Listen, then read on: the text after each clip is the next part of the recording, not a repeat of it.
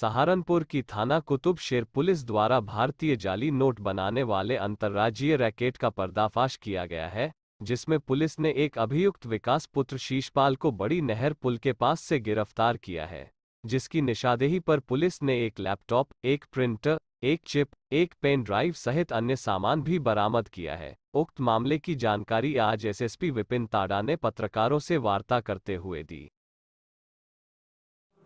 और उसी क्रम में आज ये इनके सदस्य दूसरे एक व्यक्ति हैं, ये पकड़े गए हैं। विकास नाम का ये अभियुक्त जो है, ये भी पूर्व के अभियुक्त के साथ में ये घटनाएँ करता था। इनके गिरोह के अभी तक पाँच सदस्य पूरे सामने आए हैं, जिनमें से दो लोग गिरफ़्तार हो गए हैं। और इनसे हमको पूछताछ में एक प्रिंटर, एक लैपटॉप, एक पेन ड्राइव और स्टाम्प पेपर और अन्य सामग्री मिली है, जिसका उपयोग ये नकली नोट बनाने में करते थे। जो तरीका इनसे पूछताछ में सामने आया है, उसमें पता चला है कि ये स्टाम्प पेपर को बीच में से काट के, स्टाम्प पेपर को दो हिस्सा कर लेते थे।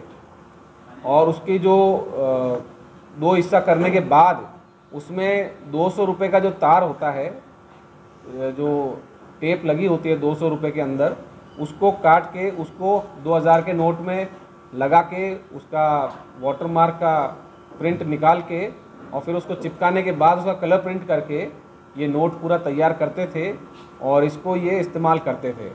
अक्सर इनके इस्तेमाल का तरीका यह होता था कि ये ऐसी दुकान या ऐसा मकान या ऐसा कोई व्यावसायिक प्रतिष्ठान चुनते थे जहाँ पर कि कोई बुज़ुर्ग हो या असक्षम व्यक्ति हो या वहाँ पे अंधेरा हो, बिजली की व्यवस्था पूरी ना हो या वहाँ पे सीसीटीवी कैमरा ना हो।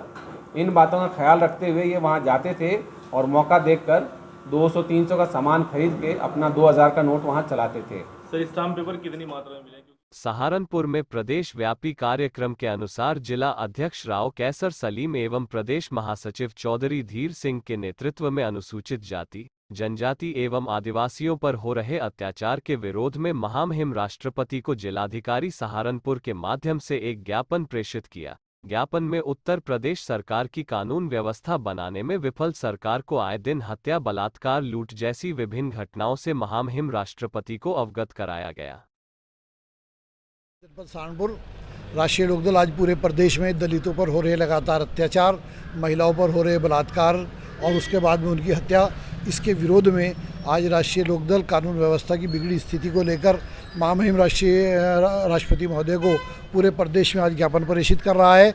इसी कड़ी में सहारनपुर से हमारे द्वारा भी केंद्रीय नेतृत्व श्री जैन चौधरी जी के आदेश पर एक ज्ञापन महामहिम राष्ट्रपति महोदय को प्रेषित किया है। हमारी मांग है कि जो दलितों पर लगातार उत्पीड़न हो रहा है, कानून व्यवस्था बिल्कुल ठप है, रोज़ बलात्कार हो रहे हैं, रोज़ महिलाओं की हत्या हो रही हैं, अपहरण हो रहे हैं, इस पर सरकार बिल्कुल विफल है। कानून व्यवस्था को लेकर हमने आज महामहिम राष्ट्रपति को ज्ञापन प्रेषित किया है और हमारी मांग है कि लखीमपुर खीरी के अंदर जो दो बालिकाओं के अभी पेड़ पर लटका कर हत्या कर दी गई, उनके परिजनों को एक एक परिजन को सरकारी नौकरी एक एक करोड़ रुपया उनको आर्थिक सहायता और उनके जो गुनहगार हैं, उन्हें फांसी की सजा दी जाए, ये हमारी मांग है।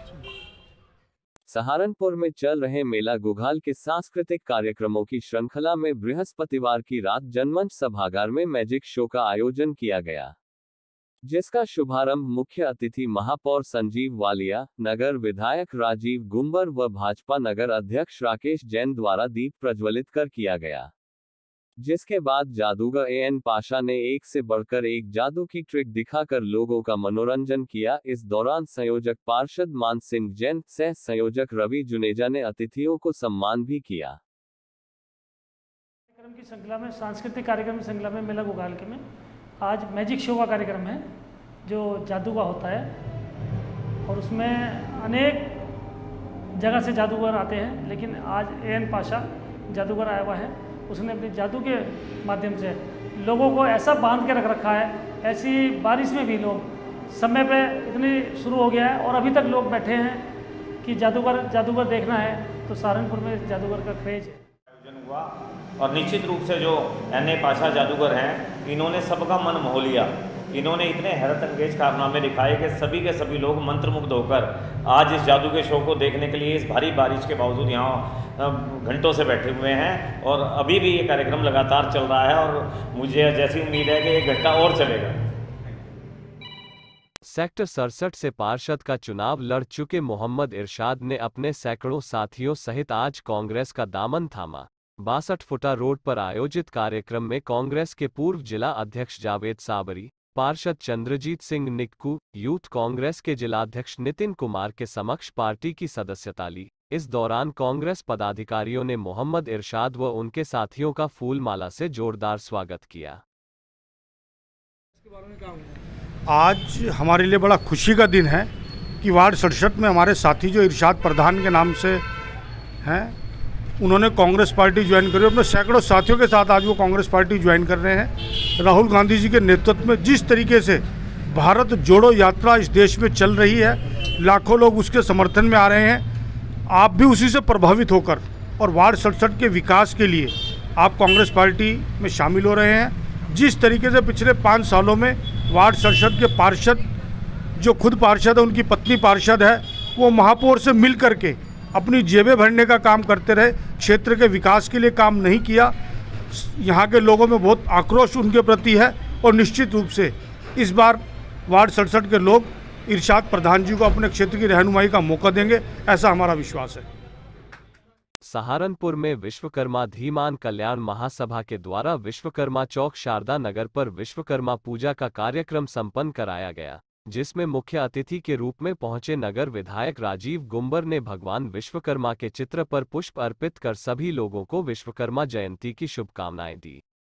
इस दौरान कार्यक्रम में विश्वकर्मा धीमान कल्याण महासभा के महासचिव Dushyant Kumar Dhiman, doctor K P Singh Dhiman, doctor Pramod Dhiman, Sandeep Dhiman, Leeladhar Dhiman, Naresh Patwari, Sanjay Dhiman, Brijesh, Sudhir आदि उपस्थित रहे। आज का ये कार्यक्रम विश्वकर्मा जयंती के उपलक्ष्य में अब अब की बार एक पखवाड़े के रूप में हम मना रहे हैं, जिसे पंद्रह दिन, यानी सात दिन पहले और सात दिन सत्रह सितंबर के बाद तक भी हम चला सकते हैं। अलग अलग शहरों में, अलग अलग जगहों पर अलग अलग तारीखों में ये कार्यक्रम हम कर रहे हैं, इसलिए हमने 16 तारीख में ये विश्वकर्मा जयंती के उपलक्ष्य में कार्यक्रम किया है और अपने समाज को इकट्ठा करके उन, हमारे नौजवान साथियों को ये प्रेरणा देने का काम कर रहे हैं कि सब हमें मतभेद भुला करके, एकजुट होकर के, समाज की तरक्की, देश की तरक्की के साथ साथ हमारे विश्वकर्मा समाज का भी तरक्की हो, वो शिक्षा में आगे बढ़ें, राजनीति में आगे बढ़ें, देश के लिए काम आए, समाज के लिए काम आए। विश्वकर्मा जी का यही संदेश है और विश्वकर्मा जी के संदेश को हम पूरे ज़िले में, प्रदेश में और देश में इसी के माध्यम से फैलाने का काम कर रहे हैं और उसी के उपलक्ष्य में ये कार्यक्रम था।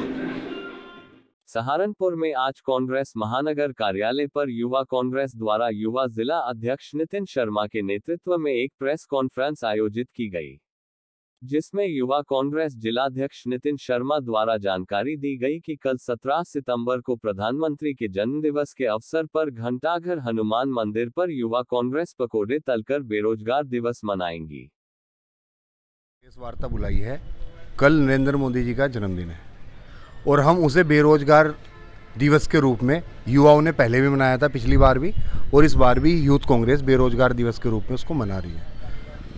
किस तरह से विरोध करेंगे? हम कल पकोड़े तलकर और फल बेचकर सब्ज़ियाँ बेचकर विरोध करेंगे। और जो बढ़ती महँगाई है नरेंद्र मोदी मोदी जी को कोई पूछे एक सिलेंडर जो चार सौ रुपये का आता था 2014 में आज ग्यारह सौ रुपये का आने का काम हो रहा है। महँगाई इतनी चरम पर है कि आप एक आम आदमी के दिल से पूछिए कि आज महँगाई कहाँ चली गई है। तो बेरोजगारी दो करोड़ रोज़गार हर वर्ष देने का वादा मौजूदा सरकार ने किया था। और दो करोड़ तो बहुत दूर, दो हज़ार भी रोज़गार वो मुहैया नहीं करा पाए। उसके लिए आज हम एकत्रित हुए। इनका भी।